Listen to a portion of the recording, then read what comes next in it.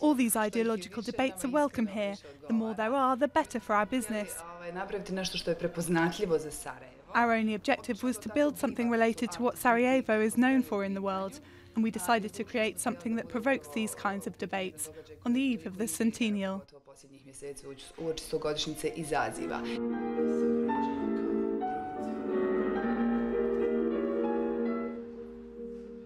Zašto.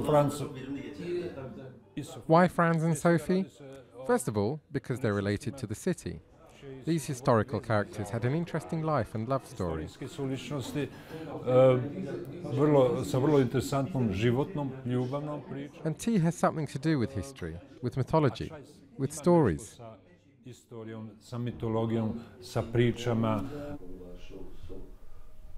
skrila gomilu koji ima je samo lošija. Da, a vidjet ćeš gore.